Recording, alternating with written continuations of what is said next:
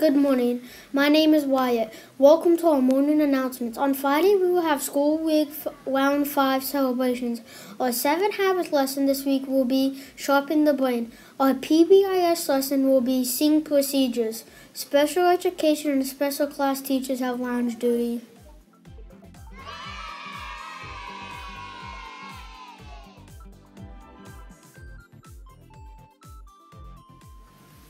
Good morning. My name is Owen Phelps.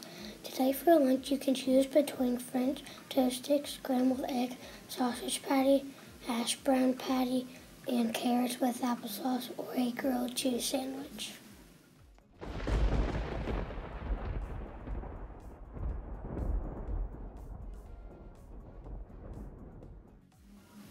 Hello, my name is Clayton. Today we are forecasting a partly cloudy day with a 21% chance for rain.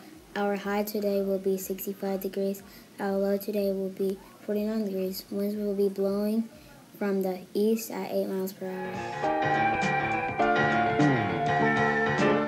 Now, if man had been born with six fingers on each hand, he'd also have 12 toes, or so the theory goes.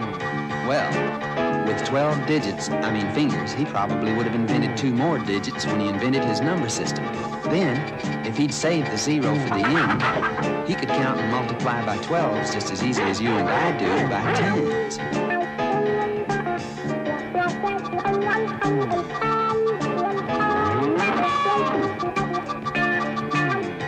Now, if man had been born with six fingers on each hand, he'd probably count one, two, three, four, five, six, seven, eight, nine, deck, L, do.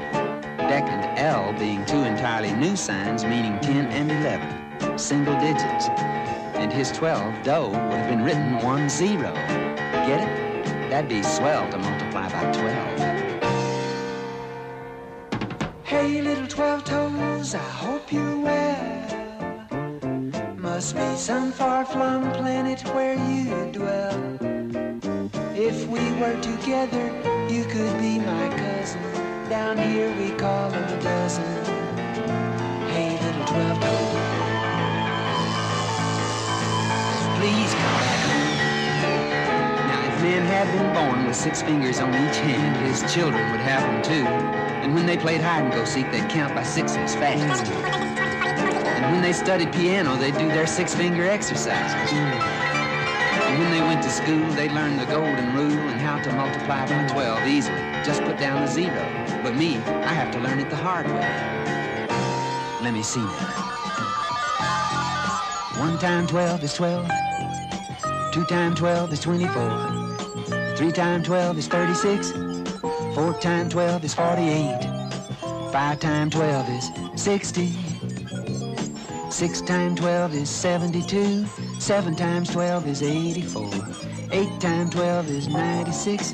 Nine times 12 is 108. Ten times 12 is 120. Eleven times 12 is 132. And 12 times 12 is 144.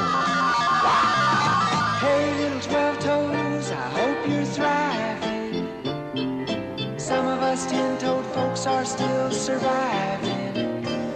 If you help me with my twelves, I'll help you